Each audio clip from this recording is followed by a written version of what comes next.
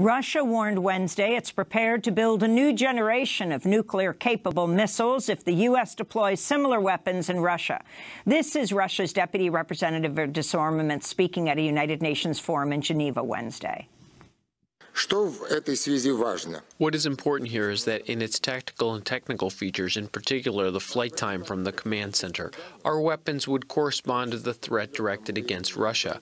We know how to do this, and we would implement these plans immediately as soon as such a threat would become a reality. This month, the Trump administration formally announced it's withdrawing from the Intermediate Range Nuclear Forces Treaty, the INF, the landmark 1987 treaty banning all nuclear and non-nuclear missiles with short and medium ranges, negotiated between Reagan and Gorbachev.